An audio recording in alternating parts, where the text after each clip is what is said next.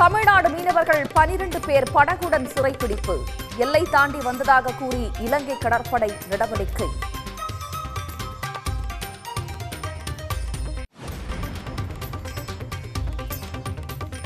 இன்று விக்கிரவாண்டியில் நடைபெறுகிறது தமிழக வெற்றிக் கழகத்தின் முதல் மாநில மாநாடு. மாநாட்டு பணிகளை நேரில் பார்வையிட்டார் கட்சியின் தலைவர் விஜய்.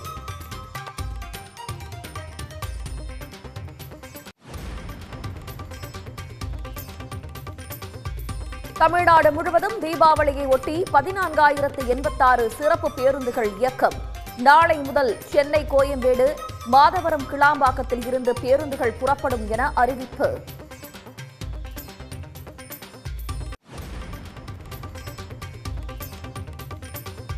தீபாவளி நெருங்குவதால் பொருட்கள் வாங்க கடைகளில் குவிந்த மக்கள். உயர் கோபுரங்கள் சிசிடிவி கேமராக்கள் மூலமாக போலீஸ் தீவிர கண்காணிப்பு.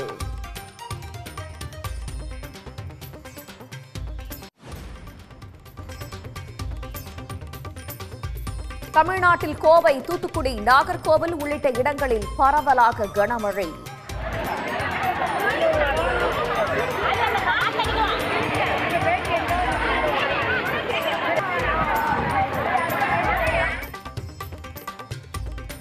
தென் தமிழகத்தில் வடகிழக்கு பருவமழை தீவிரமாக உள்ளதாக வானிலை மையம் தகவல்.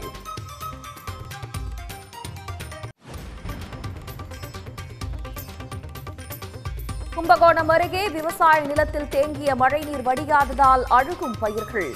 ஆய்வு செய்து உரிய இழப்பீடு வழங்க அரசுக்கு விவசாயிகள் கோரிக்கை.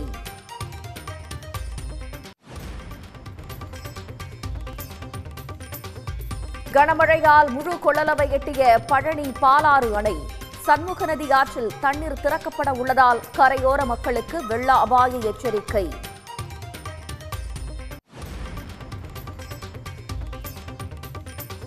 தீபாவளி பண்டிகை நேரத்தில் சமையல் எண்ணெய் விலை கிடுகிடு உயர்வு.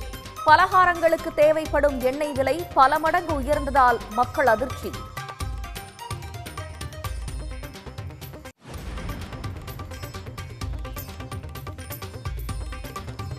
கோவையில் கிறிஸ்துமஸ் கேக் தயாரிக்கும் பணி தொடங்கியது. கேக் கலவை கலக்கும் திருவிழாவில் பலரும் ஆர்வத்துடன் பங்கேற்பு.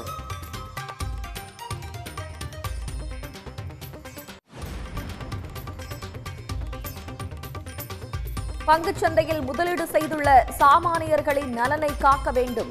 செபி தலைவர் மாதவி புஷ் மீதான புகார்களை சுட்டிக்காட்டி ராகுல் காந்தி வலியுறுத்தல்.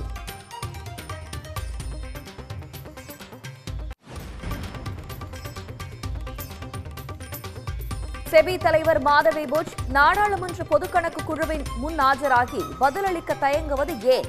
பின்னணியில் மாதவியை பாதுகாப்பது யார் என்றும் காங்கிரஸ் மூத்த தலைவர் பவன் கிரா கேள்வி.